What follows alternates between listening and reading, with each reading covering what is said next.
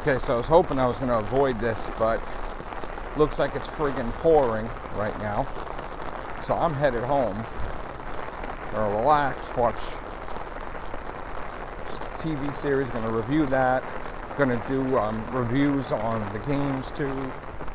Get some trophies. You know, it's gonna be a miserable, miserable day. Like the whole time. So I'm headed home. There you go. Uh, you want to see what it looks like? Look at that. That's crazy, right? Pouring. All right, guys. So podcast today. Uh, gonna try to get topic wonders done tonight, and freestyle cast, and another horror cast, and hopefully a real Hoovians cast.